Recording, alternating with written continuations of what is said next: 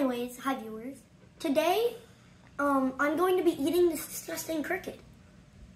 Um, like, it's disgusting. Look at it. Um, you can get them at the, the American Natural History Museum for five bucks in the gift shop. Oh, its legs are so disgusting. This looks like a worm. I ate a worm once. It was delicious. Anyways.